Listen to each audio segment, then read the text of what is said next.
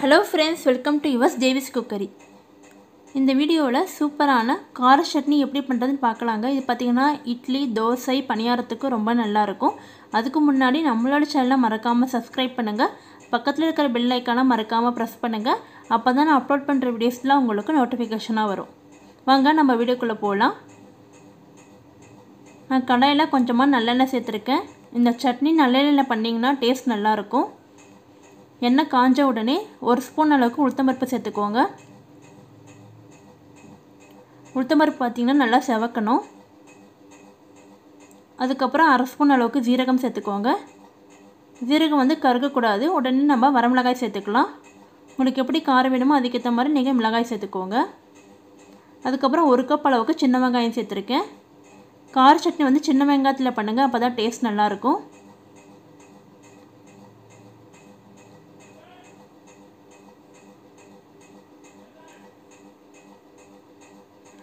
வெங்காயம் நல்லா வதங்கணும். அப்போ தான் உங்களுக்கு சட்னி வந்து க சட்னியோட கலர் வந்து நல்லாயிருக்கும் கொஞ்சமாக பூண்டு சேர்த்துக்கோங்க. நான் இருபது பல்லு பூண்டு சேர்த்துருக்கேன். கொஞ்சமாக புளி சேர்த்துக்கோங்க.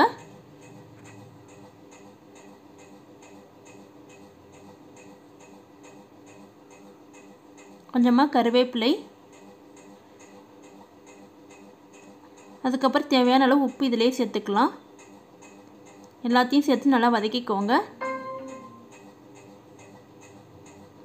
பாருங்கள் வெங்காயம் நல்லா இந்த இந்த அளவுக்கு நல்லா வதங்கணும்.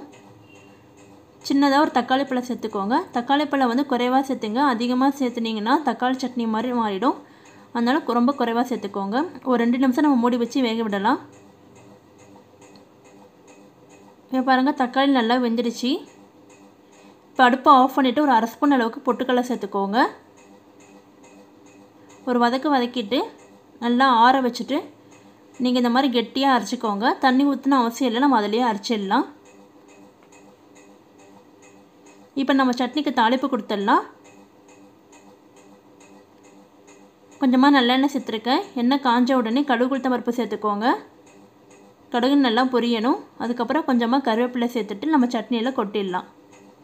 அவ்வளோதாங்க சூப்பரான கார சட்னி ரெடி ஆகிடுச்சு கண்டிப்பாக ட்ரை பண்ணுங்கள் இது இட்லி தோசை பணியாரத்துக்கு ரொம்ப நல்லாயிருக்கும்.